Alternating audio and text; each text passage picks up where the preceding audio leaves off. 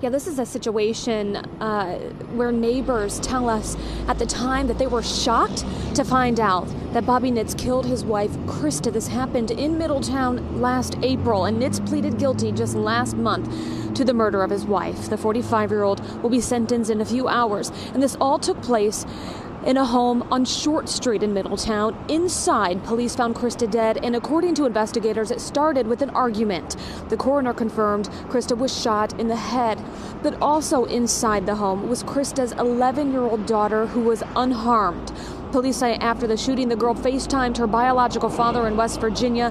While he contacted authorities, neighbors did as well and the child is on the scene. It's a little girl um, in the house, and the father is videoing her, and they're talking back and forth, video chat. The little girl's crying, saying that there's blood everywhere.